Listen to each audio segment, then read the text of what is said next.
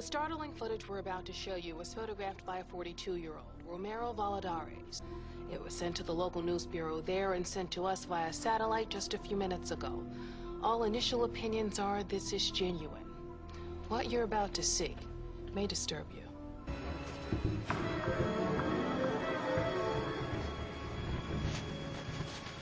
It's going to be fine. We'll scare her so bad she'll never come back here.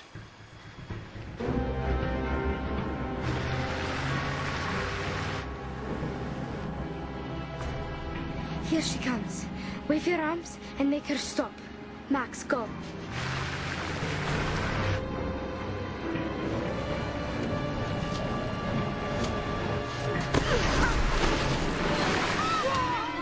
Move, children! Vámonos!